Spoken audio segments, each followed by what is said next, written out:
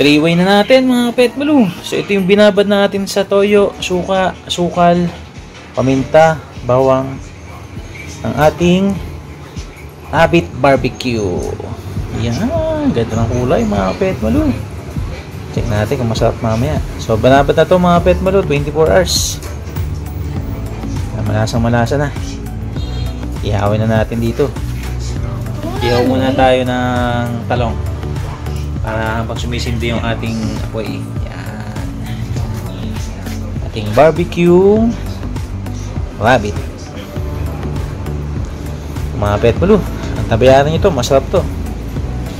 So mga pet mulu, kung bago ka sa channel natin, huwag mo naman po kalimutan mag-subscribe. Hit mo na rin yung notification bell para updated ka lagi, lagi sa ating rabbit adventure ating marinated na rabbit Q. Tapos mga pet palu, thanks for watching.